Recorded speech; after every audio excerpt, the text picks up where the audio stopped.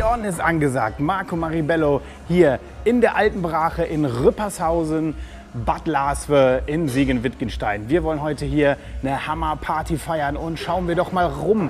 Hier ringsherum haben wir alles schon vorbereitet.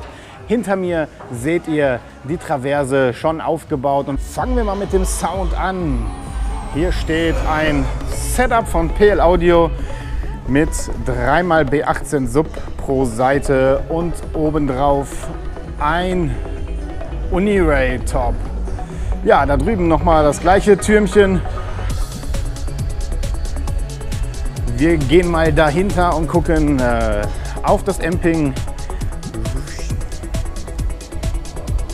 PL Audio D10K4 zweimal und einen neuen PL Audio SP48 DSP-Controller für das Lautsprechermanagement.